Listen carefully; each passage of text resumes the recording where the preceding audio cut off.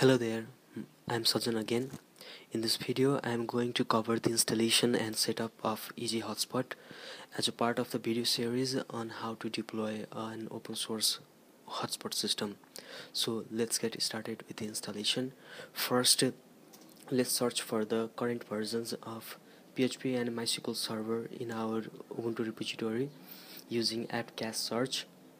As you can see here, it is uh, PHP 7 and the MySQL server is 5.7 then let's add another repository uh, from ondrej slash php so that we can have earlier versions of php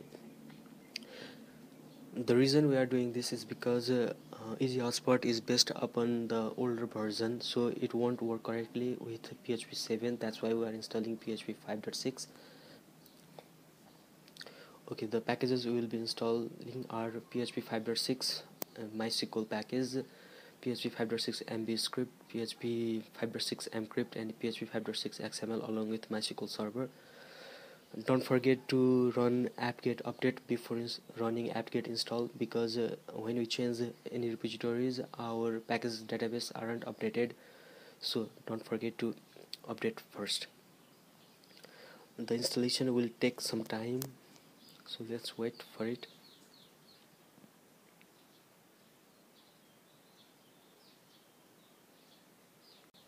Okay now we need to enter the mysql root password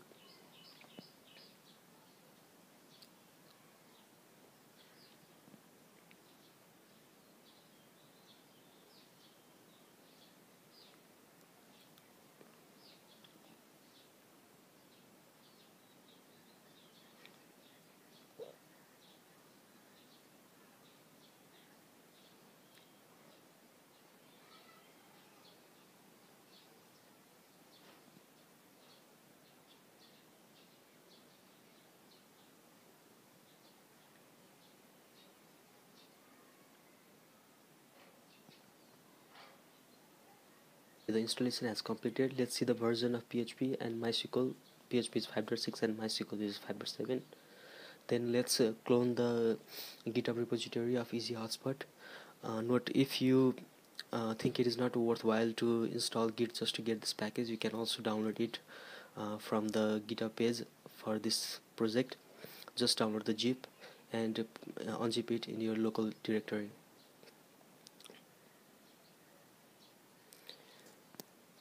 okay let's navigate into the easy hotspot.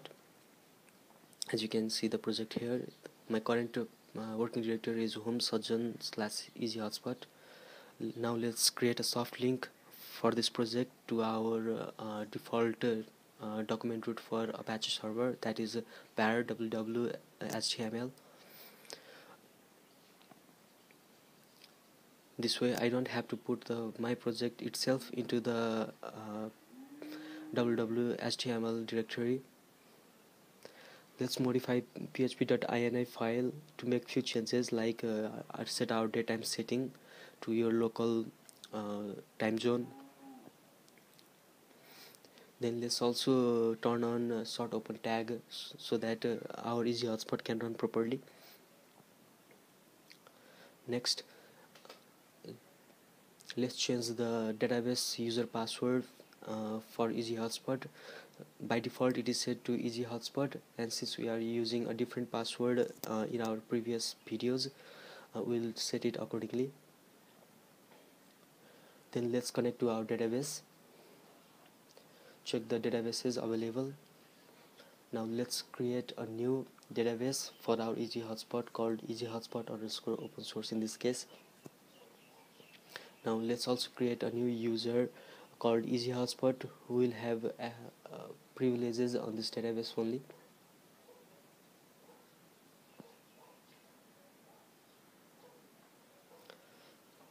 Let's grant all privileges for now in this database to this user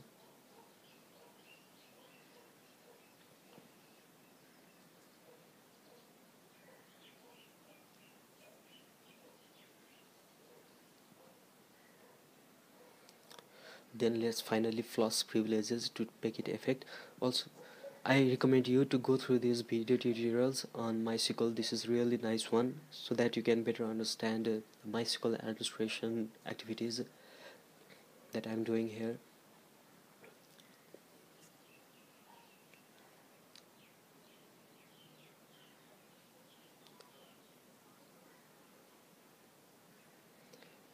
Let's exit out of MySQL and uh, let's import the uh, sample database provided by Easy Hotspot so that our schema is ready. It is available inside installs and the file name is database with sample.sql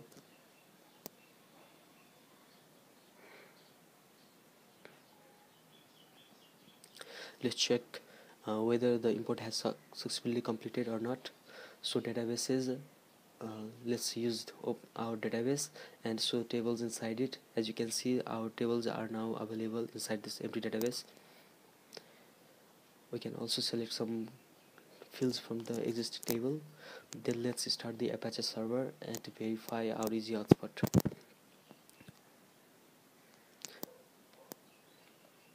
For now easy slash easy hotspot will take me to my easy hotspot. And it has given me some error and the reason I'm getting this error is because my MySQL server is set to strict SQL mode. As you can see it is much strict rules. So in order to make this work I have to make it either flexible or I have to change my application codes to uh, work with these uh, strict settings.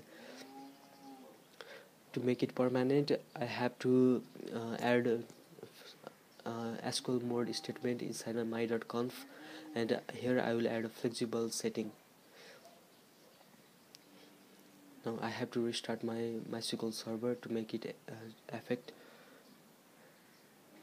To verify I have to get into MySQL again and uh, select my SQL mode. As you can see my SQL mode is now in set to flexible mode. uh, Uh, when I reload my page it is now working. The default login credentials are admin and password admin123 let's quickly add a new user for our hotspot system. For now I'm just adding a test. You can add users as per your requirements. And this user will be valid for 30 days. The user has been added and this completes our tutorial on easy hotspot. Thank you for watching